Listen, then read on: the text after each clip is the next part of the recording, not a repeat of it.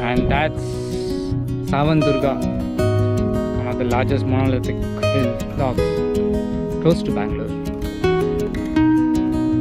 And this is our camp area.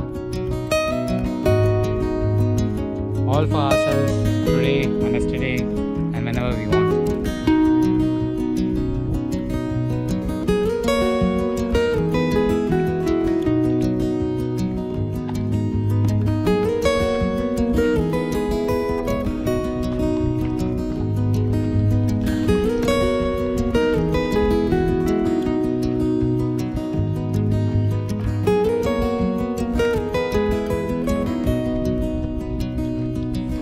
and that is Perception.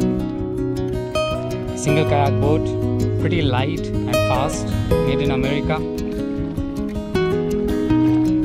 And this is stand up paddle board from Boardwalks